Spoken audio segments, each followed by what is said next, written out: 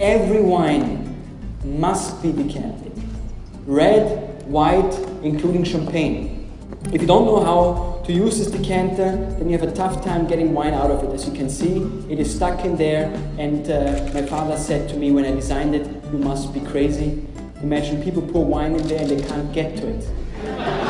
people start calling us, would you mind to replace my bottle of whatever the label is? So we had to introduce a DVD, but why is it? Why, why is it so complicated, ladies and gentlemen? As I mentioned, it's like a engine, so you need to listen to what this decanter does to wine. Listen to this.